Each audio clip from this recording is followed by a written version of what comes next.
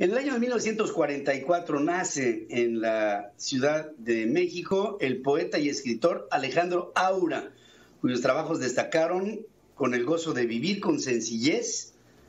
con amor a lo humano, y entre sus obras destacan Cinco veces la flor, Tambor interno y Volver a casa. Este hombre fue proscrito ahí en la época del presidente Felipe Calderón